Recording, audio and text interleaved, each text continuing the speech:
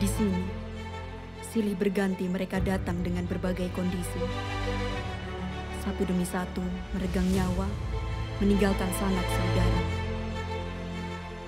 Wahai kalian yang di luar sana, sekarang kita merayakan hari kemerdekaan. Kini saatnya kita merdeka. Kini saatnya kembali membangun bangsa. Kalaupun pandemi ini meluluh lantakkan bangsa ini, tapi tidak dengan semangat kamu, tidak dengan harapan kamu.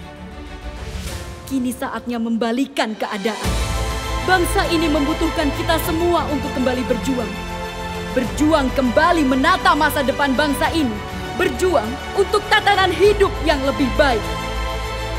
Mari kita kembalikan kejayaan bangsa ini. Kita merdekakan bangsa ini. Dan kami akan terus berjuang untuk Indonesia maju.